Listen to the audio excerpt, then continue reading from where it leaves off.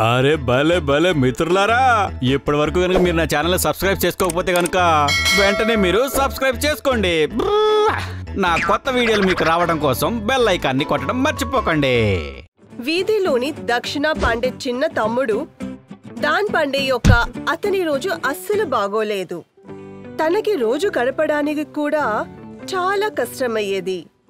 ఒకరోజు సాయంత్రం పని ముగించుకుని ఇంటికి వెళ్తుండగా అప్పుడే తన పెద్దన్నయ్య దక్షిణ పాండే ఎదురవుతాడు. అరే ధాన్. హా దక్షిణన్నయ్య. అరే నేను విన్నాను నువ్వు చేస్తున్న పని పోయిందని. ఇప్పుడు ఏదైనా కొత్త పనిని చూసావా?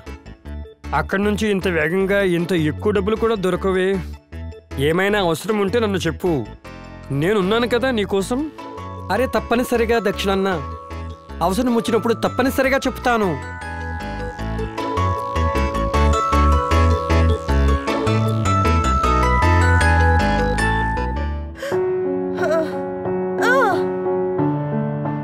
అరే అన్ను అన్ను ఏమైంది? ఏమైంది నీకు హఠాత్తుగా?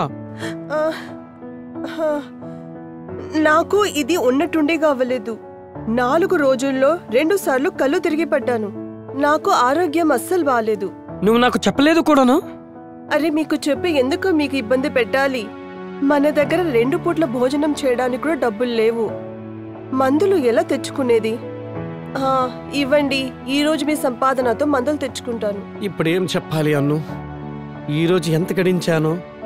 దారిలో ఒక ఆకలివాడిని చూసి వాడికి అన్నం పెట్టేశాను. నువ్వు ముందే చెప్పింటే బాగోయాను. ఇప్పుడు నా దగ్గర ఒక్క పైస కూడా లేదు.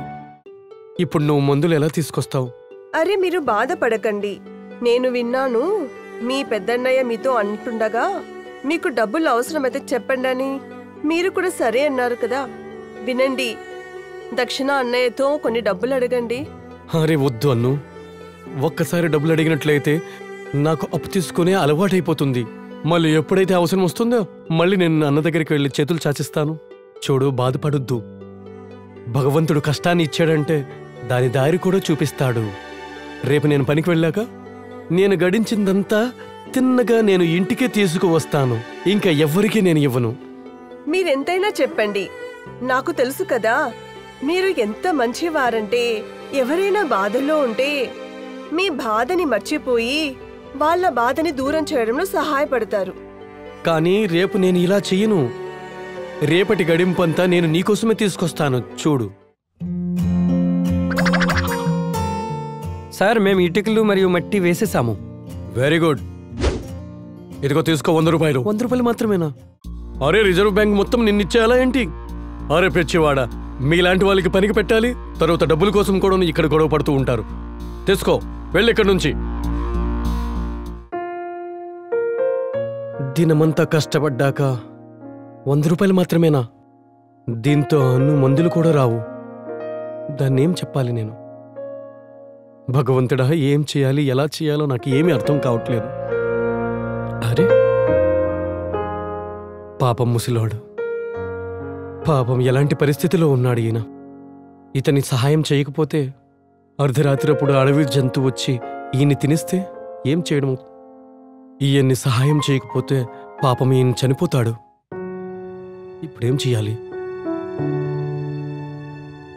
లేదు లేదు, లేదు. ఉన్న డబ్బులంతా ఈయన మీద ఖర్చు పెట్టేస్తే నా అన్నుకు ఎవరు చూస్తారు? కానీ అన్నుకు మందులు దొరకకపోతే ఆమె ఒకటి రెండు రోజులు ఎలానో గడిపించుతుంది కానీ ఈయన సహాయం చేయకపోతే ఈయన చనిపోయవచ్చు కూడాను.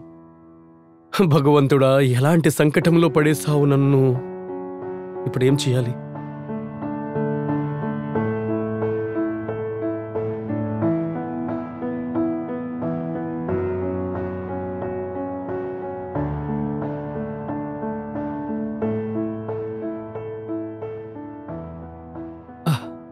ఇదేంటి? వీడికైతే చాలా చలేస్తున్నట్లుంది. ఈయన బాగా వణుకుతూ ఉన్నాడు.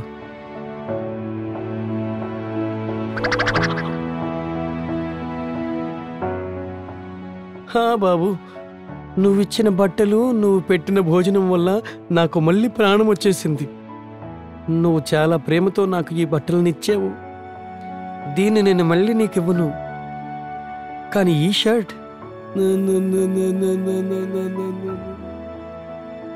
ఈరోజు నువ్వు ఈ చిరిగిపోయిన బట్టల వల్ల నాకు సేవ చేశావు నా ఆరోగ్యం బాగైపోయింది నువ్వు నీ ధనాన్ని నాపై ఖర్చు పెట్టేశావు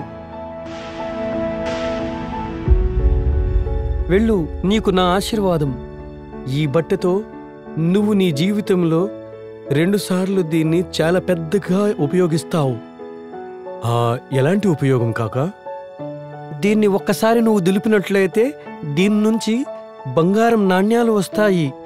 ఇంకా రెండోసారి దులిపినట్లయితే మొదటిసారి వచ్చిన బంగారు నాణ్యాల కన్నా రెండు గుణాలు అధికంగా బంగారు నాణ్యాలు వస్తాయి. లేదా నాలాంటి అనారోగ్యంగా ఉన్న ఒక మనిషిని ఈ బట్టని ఇచ్చి ఆరోగ్యంగా చేయగలవు నువ్వు. కానీ గుర్తుంచుకో నాకిచ్చిన ఒక సేవకి బదులుగా ఈ చిరిగిన బట్ట నీకు రెండుసార్లు మాత్రమే ఉపయోగపడుతుంది.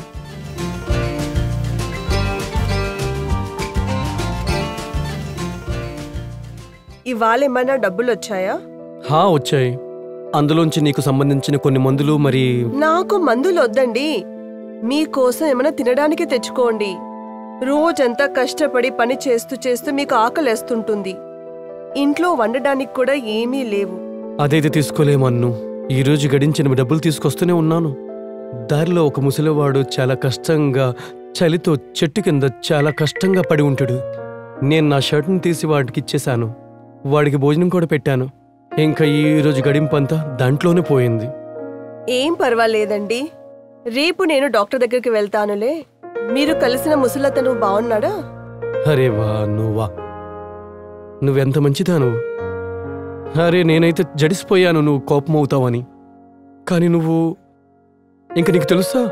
ఆ ముసలివాడు వాడు చెరిగిన బట్టిపై ఒక మంత్రం చదివి నాకిచ్చాడు. ఆయన చెప్పాడు దీన్ని ఒకసారి దులిపినట్లయితే దీని నుంచి చాలా బంగారు నాణ్యాలు వస్తాయని.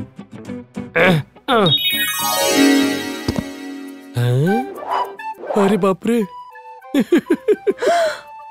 బాప్రే! ఇవి నిజంగానే బంగారు కాసులు. ఇంత బంగారమా? హా? ఏమండి ఇంకొకసారి దులపండి. అరే వద్దు వద్దు వద్దు వద్దు. ఆ ముసలాయన చెప్పాడు దీన్ని రెండు సార్లు మాత్రమే ఉపయోగించవచ్చు ఒకసారి అయితే నేను దులిపేశాను మరొకసారి దీన్ని దులిపిన కన్నా ఇంకా ఎవరైనా అనారోగ్యంగా ఉన్న వాళ్ళకి ఇచ్చేస్తామా? వాళ్ళు దీన్ని ధరించగానే వాళ్ళు ఆరోగ్యంగా మారిపోతారు. ఒక పని చెయ్యి నువ్వు తీసుకో. దీన్ని నువ్వు ఒక్కసారి వేసుకో. అరే మీకేమైనా పిచ్చి పట్టిందా? మనం చాలా పేదరికంలో బతుకుతున్నాం. నేను ఈరోజు కాకపోతే రేపు బాగుంటాను. కానీ మీరు అయితే చాలా బాగుండాలి.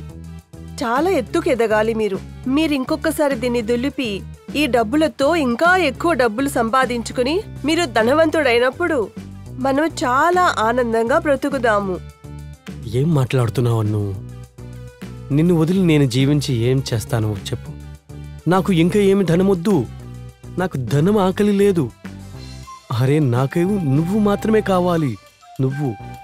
ఇప్పుడు మనకి ఎంత డబ్బు అయితే దొరికిందో దీంట్లోనే మనం సరదాగా జీవితాన్ని గడిపిద్దాం. అలాగేనండి. ఈ రోజు నాకు అర్థమైంది ఏంటంటే ఎవరైనా కానీ నిస్వార్థంతో ఎవరికైనా సహాయం చేస్తే ఆ సహాయం చేసినందుకు భగవంతుడు తన మంచితనాన్ని చూసి తప్పకుండా తనకి ఏదో ఒక రూపంలో సహాయం చేస్తాడు.